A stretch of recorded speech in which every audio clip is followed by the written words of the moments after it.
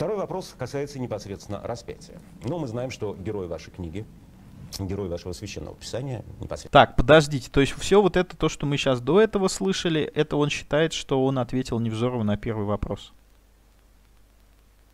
То есть, когда он сказал, что типа Невзоров врет, а потом пересказал все то же самое. Окей, окей, замечательный контраргумент. Единственное, я так и не выкупил, в чем прикол, но хорошо. Все. Злой Невзоров повержен оказался. Интересно. Каким образом? Ну ладно, не суть. То есть, если бы я был на месте папа, я бы, наверное, что-нибудь поинтереснее придумал. Отец Нового Завета Евангелия, а, Иисус Христос, раввин по профессии, проповедовавший в синагогах, а, как бы имел достаточно печальную по земным меркам судьбу, он был распят.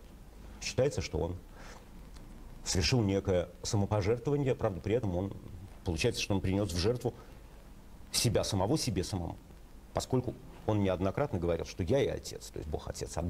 Пишет, жаль, что Александр Глебович не знает точно догмат благо, э, боговоплощения.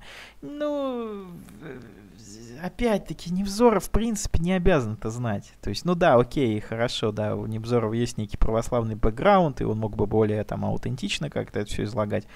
Но, блин, если Невзоров выступает с позиции просто там, я не знаю, мимо проходящего атеиста, там, любопытствующего, хотя на самом деле он агностик, а не атеист, но не суть, то он мог бы и так это сформулировать. Почему нет? Там Бог принес как бы самого себя, себе же. Окей. То есть, ну, глупые атеисты, вот так они считают. Ну, типа, а почему нет? Но он преображался на горе Фавор, представ перед своими учениками во всяких белоблистающих одеждах. А, он знал наперед всю эту драму и даже предсказал Петру, что тот трижды предаст его еще до того, как пропоет петух. То есть это был, безусловно, Бог, и русское право... Да, я сразу вспоминаю арию святого Петра. Вот это «Прости меня, мой Бог». Это, наверное, самое-самое прекрасное музыкальное произведение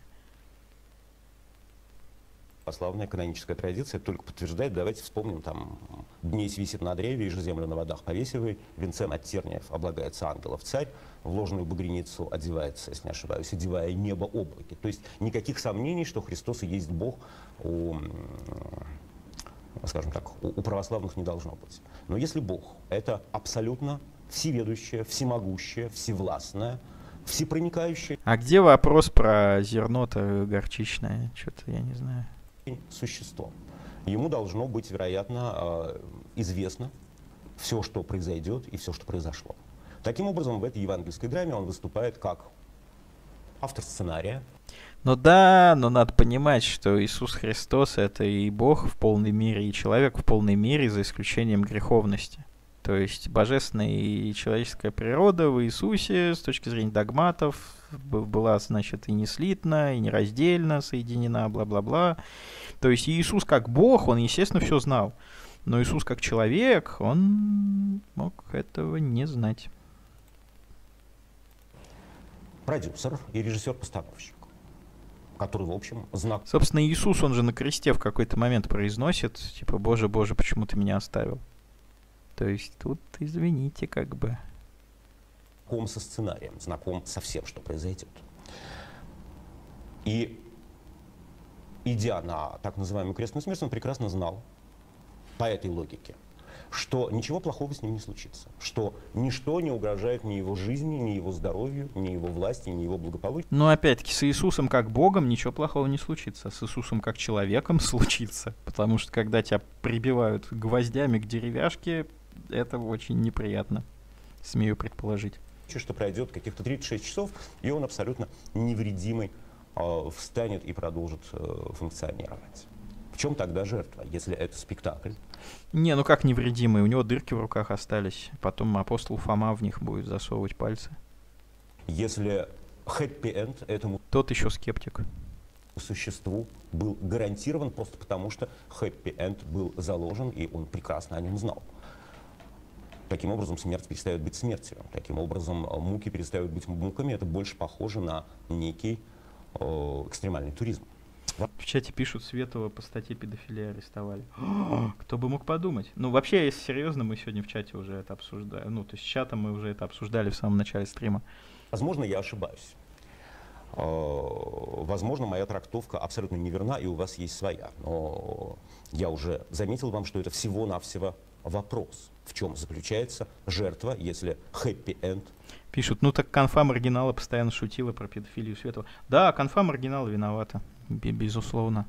Гарантированно. Я полагаю, что эти книжки писались в расчете на так называемых первых христиан. Мы помним, что это были там работницы лупанариев, а, прокаженные, э, местные бомжи, вольноотпущенники, рабы, то есть люди абсолютно дремучие, а, без какого бы то ни было критического, скептического. Не, ну там были еще э, подонки античного мира, как их Ницше называл. Пишет, какие сильные умные бомжи оказались, раз за ними мир пошел. Ну да, но там как бы главный чувак, который все это затеял, он был римским гражданином, и он даже не входил в число 12 апостолов. И как бы начинал свою карьеру как гонитель христиан как раз, только потом перешел на их сторону. Собственно, человека звали Савол или Павел. Латынина, по-моему, книжку написала, где утверждает, что апостол Павел и Симеон Мак — это одно и, то, одно и то же лицо. Да. Ну, наверное, она думает, что это оригинальная идея или аналитического подхода к вопросу, им можно было впаривать абсолютно все, что угодно. Возможно, я не прав. С интересом услышу ваш ответ на свой вопрос. Вопрос понятен. Как ни странно, вот второй вопрос по своей э, сути, может быть, значимости очень серьезно уступает первому вопросу. Потому что если в первом вопросе... Да, потому что на первый вопрос ты, блядь, ничего не возразил даже, абсолютно. То есть ты просто пересказал то, что сказал Невзоров, и сказал, это ложь. Хотя сам, сам и эту же историю и пересказал. Да, там лю- люди рисковали собой, люди боролись с голодом. Ну окей, как, как, как это отменяет то, что они сдавали деньги, чтобы вступить в религиозную организацию, а тех, кто утаил часть денег, их как бы таинственная смерть ожидала. Еще, правда, есть, э, ну, так скажем, некоторые исторические моменты, которых человек, если не знает, то ему, может быть, и не будет понятна история с Анани Сапфирой, то а, второй вопрос, э, это уже исключительно из, э, скажем, даже нашей жизни, и, в принципе, примеров масса. А, и как бы то, что вам, Александр Глебович, это непонятно, меня это, правда, искренне удивляет. Постараюсь простыми словами ответить на этот вопрос. Представьте себе человека, который очень чистоплотный. Он и внутренне чист, и внешне чист. То есть человек нравственный, он а, не скверословит, он а, не допускает каких-то поганых мыслей. И внешне тоже это человек, стремится быть чистеньким, руки моет, он а, постоянно ходит в душек, носит чистую, опрятную одежду и тому подобное. И вот этому человеку из любви к ближнему нужно пойти в какой-нибудь хоспис или в какой-нибудь бомжатник, чтобы послужить людям, которые там находятся, чтобы помыть их, чтобы перевязать их раны, чтобы выслушать их, и помочь не только телесно, но, может быть, и душевно. Когда человек идет Спрашивают, э, считал ли Ницше апостола Павла сверхчеловеком. Нет, не считал, но здесь можно было бы, вот от себя скажу, что можно было бы ему сказать, ну то есть можно было бы признать апостола Павла сверхчеловеком со знаком минус. То есть как бы не, не сверхчеловек, а античеловек. Вот Савонарола, апостол Павел, Ленин, Троцкий, вот, вот, вот такого рода персонажи, Гитлер, да, они очень хорошо вот сюда уходят в эту категорию. То есть не сверхчеловек, а античеловек. Или какой-нибудь бомжатник, или еще куда-либо в подобное место. Он же точно знает, что рано или поздно он из этого места выйдет. Но вот если он там проведет 36 часов и будет перевязывать их раны. О, Господи. Я думал, что будет ответ вполне себе соотносящийся с догматическим богословием о том, что у Иисуса Христа была и человеческая, и божественная природа. И, безусловно, Иисус как Бог, Он был всеведущим, обладал всеми качествами Бога, поэтому Он заранее знал, что будет и что Ему ничего не угрожает. Но Иисус как человек, э, имеющий все человеческие черты, за исключением греховности и первородного греха, потому что он был рожден непорочно. Он не знал, что будет, именно поэтому он боялся, молился Богу и даже сказал, Боже, о Боже, почему ты меня оставил, бла-бла-бла-бла-бла. Но вместо этого что мы слышим? Мы слышим про бомжатник, про душек, про... Ну, ну, ну что это такое, господи, ну какое... Это вот как рассуждение Клим, Клим Саныча Жукова про то, что Пол Пот был евролевым. Ну опять вот эта чудовищная некомпетентность, граничащая с идиотизмом. Ну как же так-то?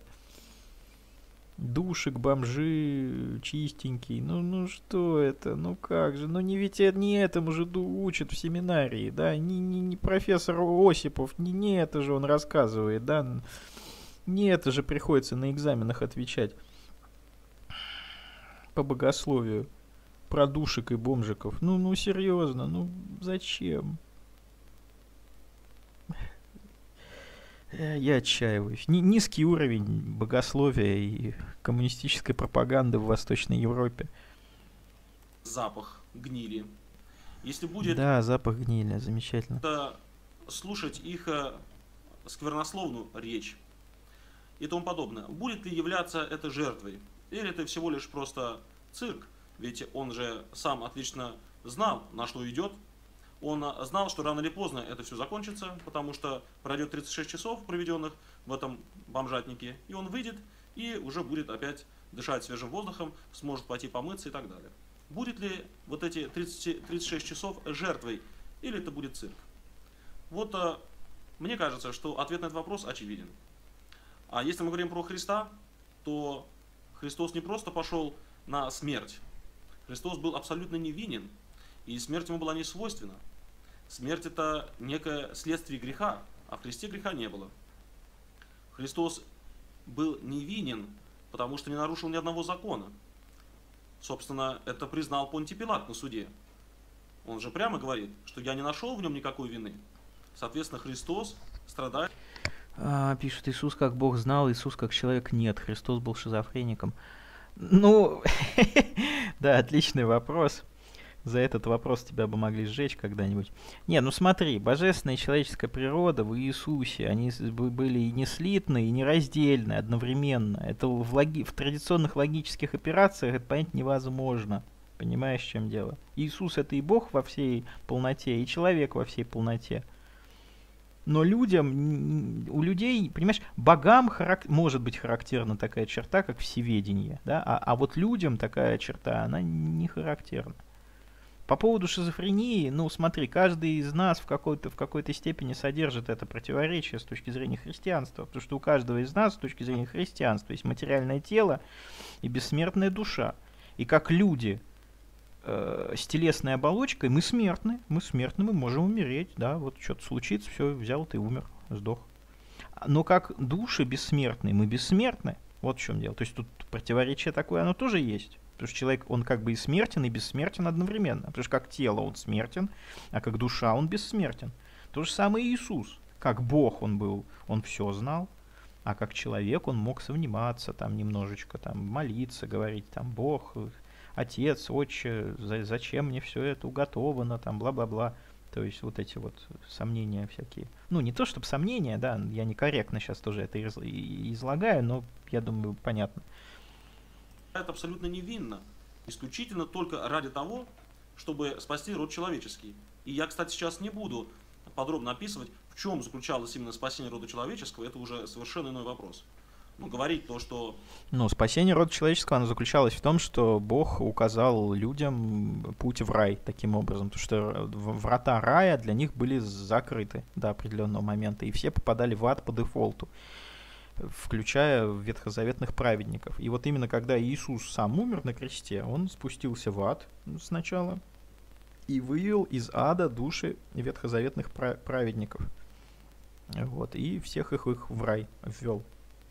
То есть, грубо говоря, всякие церковные таинства и прочие вещи, там покаяние, крещение, они способны как бы обнулить грехи, которые у человека были до этого, и первородный грех тоже как бы снимается. Ну, по крайней мере, некоторые деноминации христианства в это верят.